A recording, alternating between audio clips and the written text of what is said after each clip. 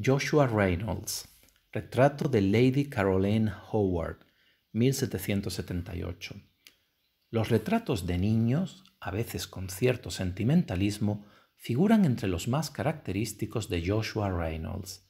El retrato de la pequeña Lady Caroline Howard es elogiado como una de las primeras evocaciones de la inocencia infantil en la que se representa un miembro de la aristocracia, sin ninguna referencia particular a su familia, mientras, la niña descubre la naturaleza en un entorno bucólico.